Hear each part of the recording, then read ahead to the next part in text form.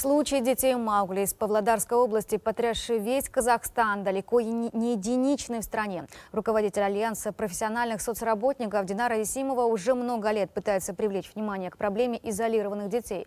В своей практике эксперт встречала немало семей, которые по разным причинам выпадали из поля зрения специализированных служб.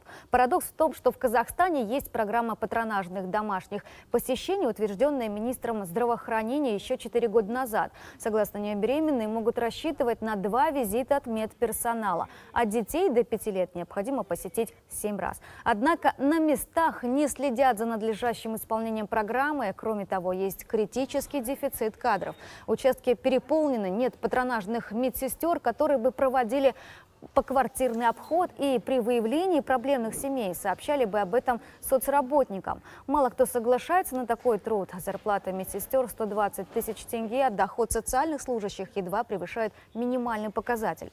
По мнению эксперта, в этом вопросе важна принципиальная позиция акиматов. У них есть все ресурсы для повышения престижа профессии.